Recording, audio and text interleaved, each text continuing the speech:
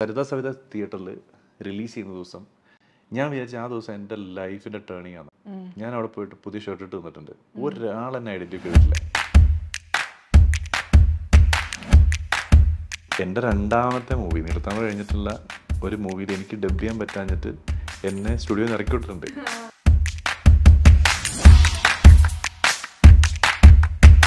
ആ സ്ത്രീ കണ്ണ് നിറഞ്ഞു വരുന്നേ കണ്ട്. നമുക്ക് മമ്മൂക്കയുടെ ഒരു ഗിഫ്റ്റായിട്ട് എത്രയോ ഒരു കാര്യം അവരുടെ വീട്ടിലേക്ക് കൊടുത്തുവിട്ടേരും